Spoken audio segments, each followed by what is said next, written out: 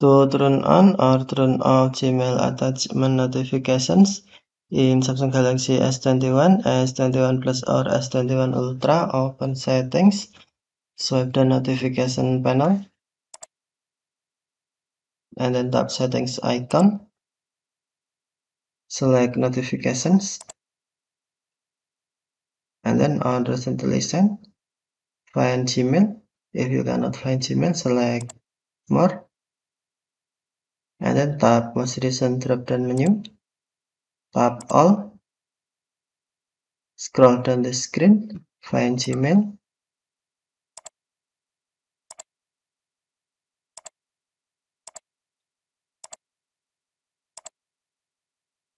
And then tap gmail.